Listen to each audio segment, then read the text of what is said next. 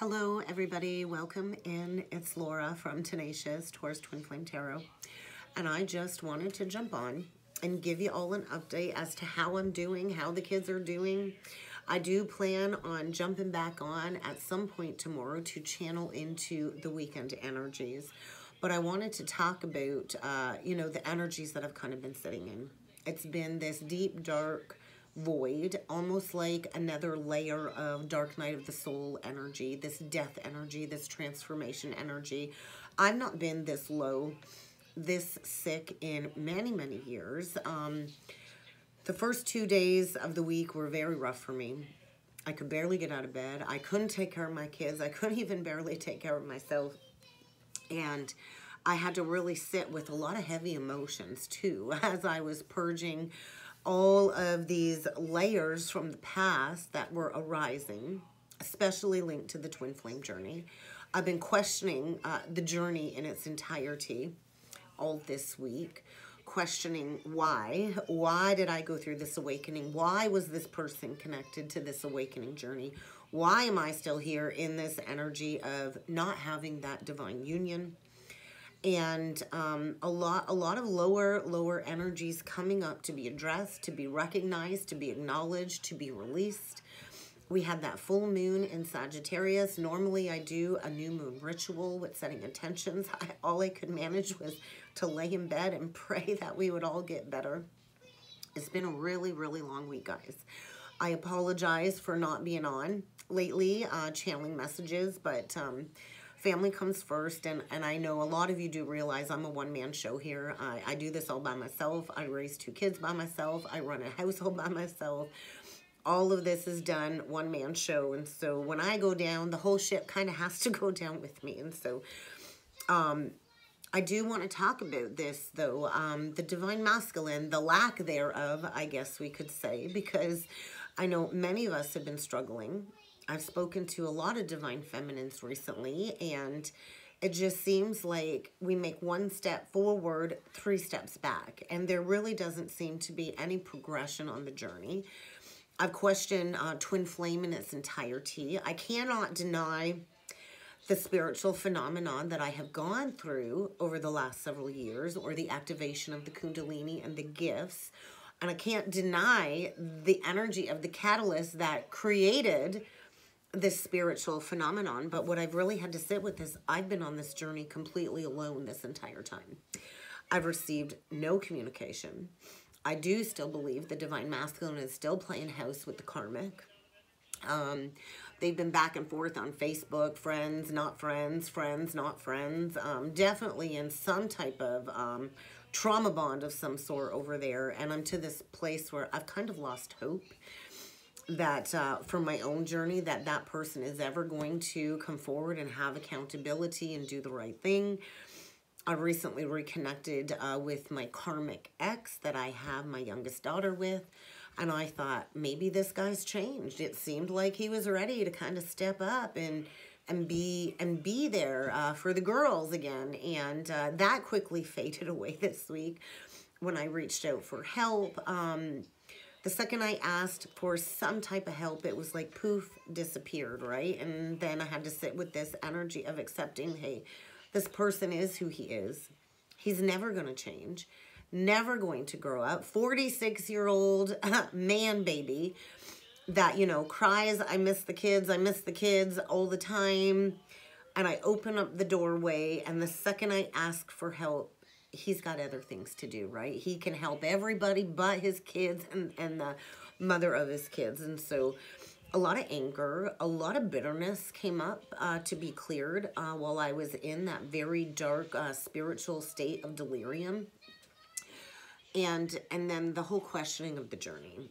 Do I believe in twin flame? Yes. I can't deny what I've gone through over the last several years. Do I believe these divine masculines have what it takes to stand up and do the honorable thing like a true masculine emperor would do? I really don't think they've got what it takes, to be honest. Um, and I know we're not supposed to speak negatively about this connection, but I'm at my breaking point is kind of where I'm at. I know I, I'm going to have some new ideas when it comes to moving the channel forward. I, I do apologize for not getting any zodiac signs out for anybody uh, for the month of uh, November. It is what it is. I've had a very full schedule with the expo, the craft show, clients, and then getting pummeled with this sickness and having to rearrange clients two weeks in a row. So if you are waiting to get rescheduled, I will be reaching out. I do apologize for the delay. I talk about it all the time in my channeled messages. Um, you can't fill another's cup unless you fill your own cup first. And so that definitely resonated with me this week. I can't fill any of your cups when I'm running on empty and uh, trying to fill my children's cups while we're all still trying to recover from this very nasty virus. And so please be patient with me. I do have a lot of messages I want to share with you that I journaled about um, over the last several days. Well, I really couldn't do much of anything but lay in bed. Um, and I and I'm excited to see where the channel is going to go moving forward. I I am going to pull away from channeling divine masculine uh, readings. I think it really doesn't matter what the divine masculines are up to because it ultimately is a journey of self for the divine feminine. And to be a divine feminine, you have to stand whole in your own being, whether they they come forward or not. And so I've actually got a, a really bitter hate on right now for the masculine collective in, in its entirety even the man that I've been casually dating for the last several months who, you know, had a tragedy a week ago, like last week, there was a tragedy. He his brother had passed away suddenly.